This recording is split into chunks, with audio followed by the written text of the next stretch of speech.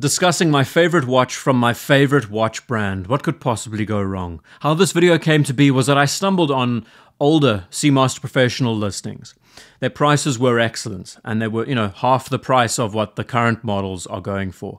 And it made me think not just about what you're getting as a watch, but also about their designs and whether or not they were better in some ways than the newer models. Did they understand the brief a lot more and the, the origin of this watch far better? Beyond the excellent build, the classic designs, the Seamaster does come under scrutiny, and the modern Seamaster professionals are no different.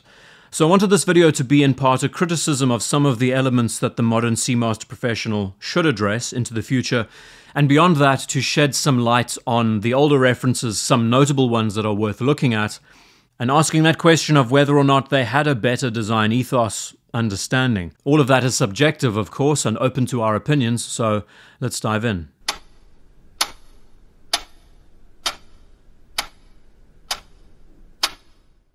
I think of all the watch collections out there, the Seamaster is my favorite family. Not the Speedmaster. That in itself is a controversial opinion, I guess, something we can maybe talk about another time. But what both of these core collections offer is a great selection of diversity across designs and different generations. If you're not keen on the professional lyre lug case, there is a more classic CK case choice instead. If you prefer a watch that's smaller or larger than 42mm, there are other options out there. That's why it's a brand that you could fully commit to and collect, because it's so open and so spaced out. There's lots of variety on offer. Anyway, I love the Seamaster. My first high end watch, like many of us here, was the first watch that I ever saw from the distance, and I thought, I have to have this one day. It took three years to finally get it, and the experience with it has only improved and gotten better day after day. But the old saying goes no watch is perfect.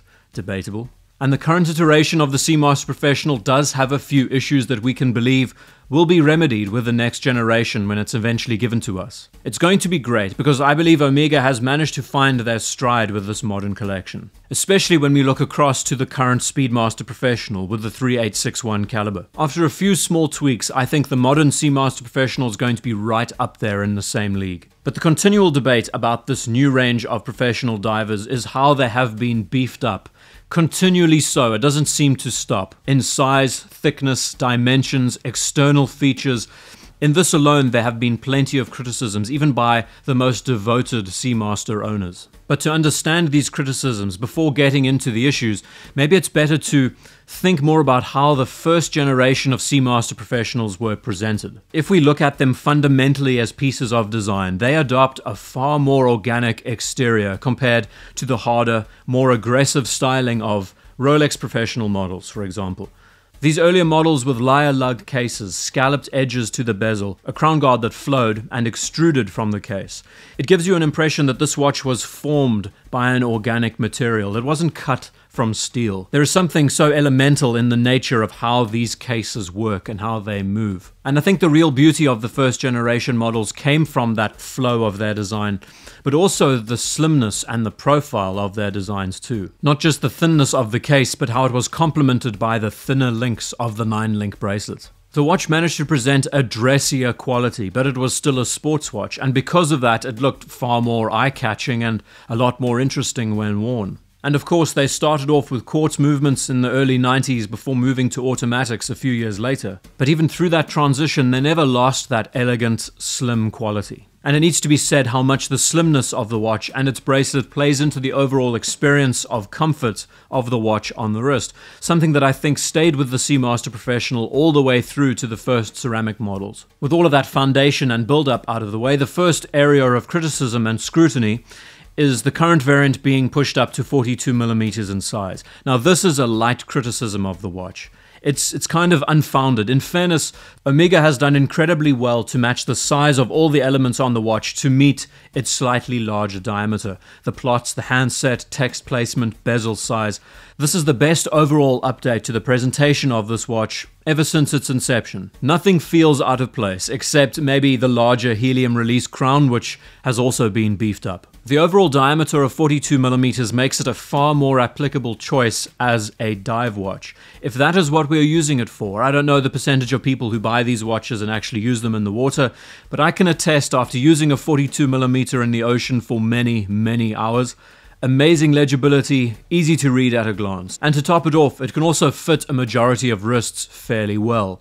Anyone from a 6.5 inch wrist and up would be able to wear this size no problem. Owing to the fact that the lug length is relatively short at 50 millimeters with an adaptable female end link. So the size of the watch is always a point of contention, whether you're using it for daily wear or special occasions, whether you're going to be using it in places like the ocean or on the wrist with a suit. 42 millimeters today is quite the universal size for a dive watch. And compared to the earlier generations at 41 millimeters, this hasn't been much of a change. But then we move to one of Omega's biggest problems, or should I say thickest problems, and that is the overall thickness of their modern watch cases. The current Seamaster Professional measures in the ballpark of 13.6 millimeters, which isn't terrible.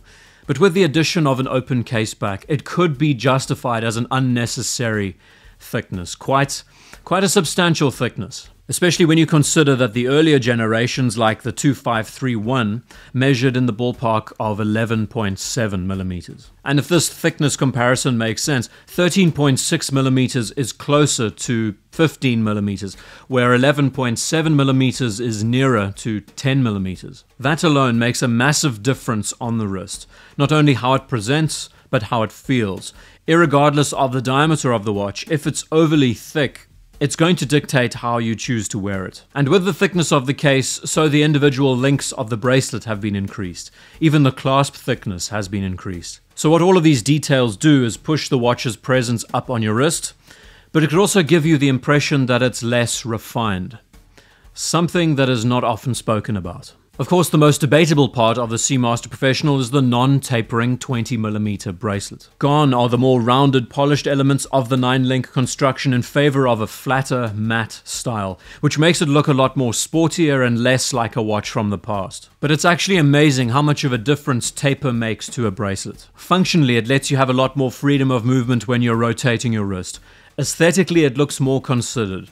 Visually, it will make the watch wear slightly smaller in profile. The advantages are all there. Whether Omega will listen or not is another point entirely. Or maybe deciding to go down a more Tudor Black Bay oriented route with defined links that notably get slimmer heading to the clasp, or a more gradual taper that runs between the links and the bracelet. There are plenty of options for them to choose. And taking that all in, this is the real catch 22 of the modern Seamaster Professional. For all the amazing details, massive technical improvements, mechanical improvements, greater presence and balance across the dial with all of the external elements, the watch comes across looking far more brutal and less svelte when looking at the individual parts. Whereas the older models had a more understated, dressy presence that sat nicer in profile, where some of their core features, like the subtle helium escape crown, were not hitting you over the head with their placement on the case, these current models have a far more deliberate look to their design and their elements, and that's not necessarily a bad thing. But I would argue that the older models had more of a flow between how the case interacted with the bracelets,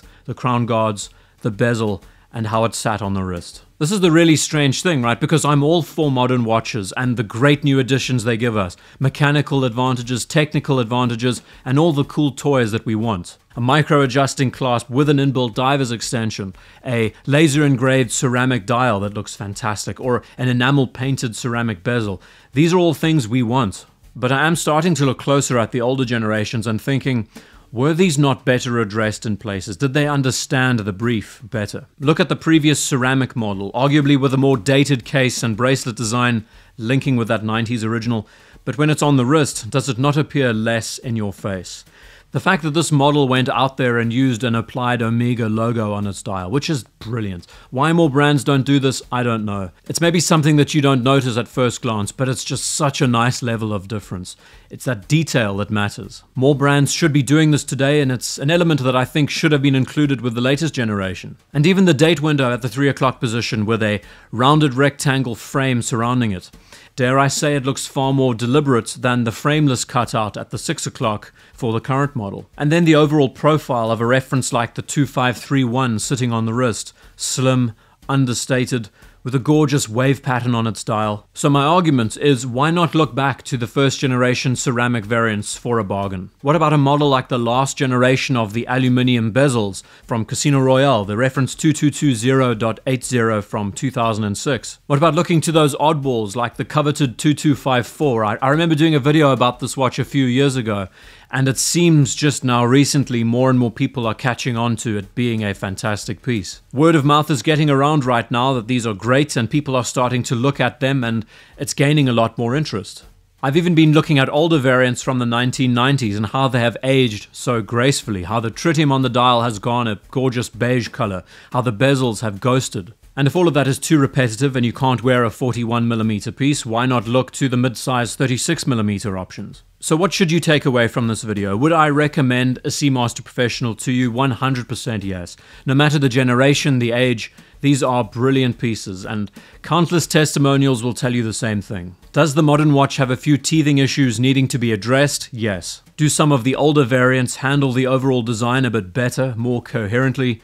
Yes. But when we look across to how Omega has tackled the most recent 3861 Speedmaster, with that gorgeous tapering braces, how they've played around with the profile of the watch, and how you can get a far better fitment on the wrist, I think there is a lot of hope in the direction of how these pieces are going to evolve, especially when we look to the 60th anniversary Bond Seamaster. This is exactly on track with how we want to see this collection change for the better. And like I said at the beginning of the video, I think Omega has found their stride in this department and are slowly working to improve it more. So the real take home from this video is if you can't gel with the current modern Seamaster Professional, there are plenty of other variants out there, all of varying levels of design, and some that I think are a lot more interesting and harken back to the 90s better. Is it mad for me to say that instead of chasing the most current Seamaster Professional, I would be looking at the first generation ceramic? Probably in black, because I believe there is something a bit more enigmatic and characterful about these pieces. And these designs, while they are certainly of the 1990s and early 2000s, they do hold a special place.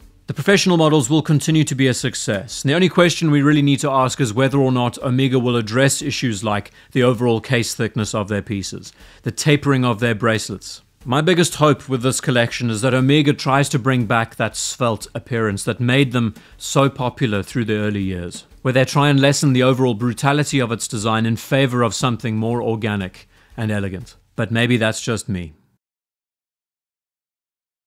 Can you believe it's been half a decade since this generation of Seamaster Professional has arrived?